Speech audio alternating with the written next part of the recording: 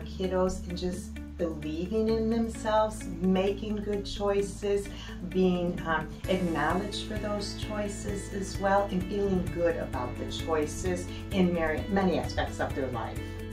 The principles, the Blue Zone principles, and the habits have made them leaders to make the healthy choice the easy choice. They feel confident within themselves to even stop and draw upon one of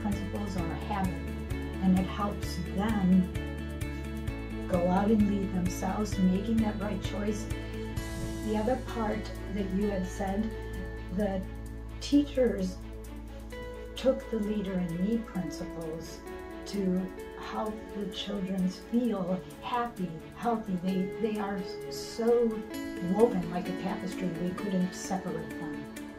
And that's what's going to keep this sustainable.